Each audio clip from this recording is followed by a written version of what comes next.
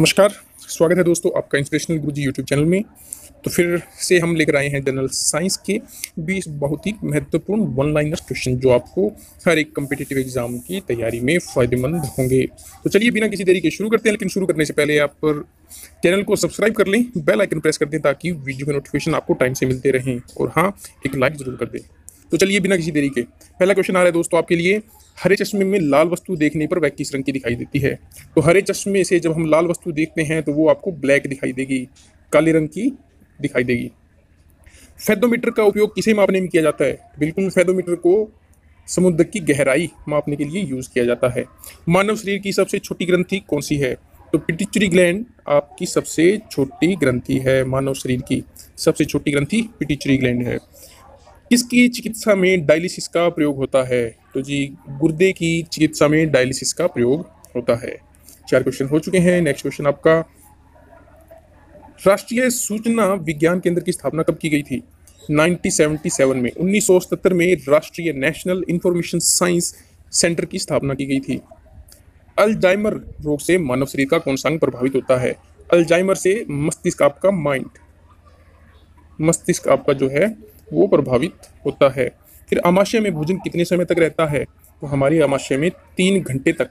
Three hours अमाशय में हमारे भोजन रहता है। मनुष्य के रुधिर का पीएच का मान कितना होता है? तो seven point four seven point four मनुष्य के रक्त का पीएच मान होता है। क्वेश्चन नंबर सेकंड नेक्स्ट सबसे छोटी कोशिका कौन सी होती है? तो माइकोप्लाज्मा माइकोप्लाज्मा सबसे छोटी कोशिका होती है। लाल रक्त कणिका का जीवन काल कितना होता है? लाल रक्त कणिका का जीवन काल 120 दिन का होता है। आत्मघाती थैलियों के नाम से किसे जाना जाता है? तो लाइसोसोम आपकी आत्मघाती थैलियाँ हैं।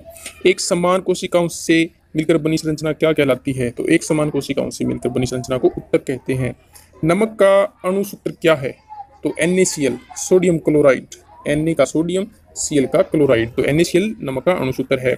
जल का बर्फ़ में बदलना कौन सा परिवर्तन है? जल जब बर्फ़ में बदलते हैं तो इसे फ़िज़िकल ट्रांसफॉर्मेशन यानी भौतिक परिवर्तन कहते हैं। पीयूष ग्रंथि को नियंत्रित करने वाली ग्रंथि कौन है? तो पीयूष ग्रंथि को हाइपोथैलेमस नाम की ग्लैंड जो है, वो नियंत्रित करती है। हाइपोथैलेमस शरीर में सबसे अधिक अनुपात में पाए जाने वाला खनिज लवण सोडियम क्लोराइड यानी नमक एन है।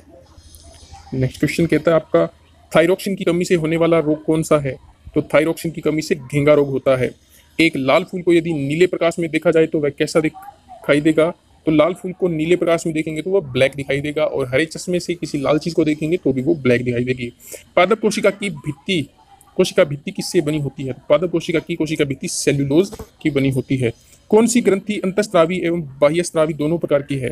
तो आपकी अग्नाशय ग्रंथि, अंत और बाह्य दोनों प्रकार की स्त्रावी ग्रंथि है। हाथी में बाहर की ओर निकले दांत किस प्रकार के होते हैं? हाथी में जो दांत बाहर की ओर निकलते हैं, वो कृंतक दंत होते हैं। पाचक एंजाइम कहाँ नहीं होते? तो पाचक एंजाइम आपके पीतरस में नहीं होते।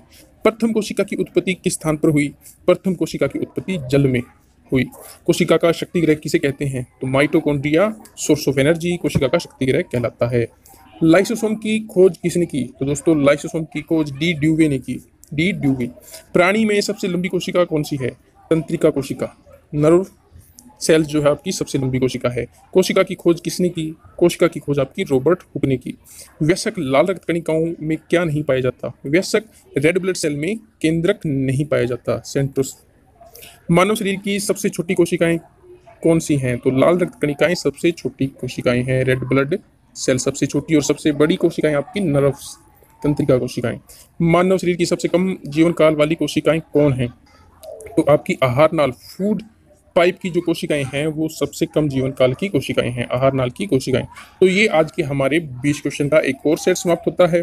तो आप हमारे ये सेट डेली देखते रहें, आपके इनसे धीरे धीरे ऐसे खेल खेल में ही आपकी तैयारी हो जाएगी, जो कि आपका बेसिक साइंस है, उसको हम दोहराते जाएँगे और कम्पिटिटिव एग्ज़ाम दे रहे स्टूडेंट्स के लिए बहुत ही इंपॉर्टेंट है। तो हमारे चैनल पर विज़िट करें सब्सक्राइब करें बेल आइकन प्रेस करें और हमारे फेसबुक पेज ड्रीम सक्सेसर पर भी आप हमें फॉलो कर सकते हैं।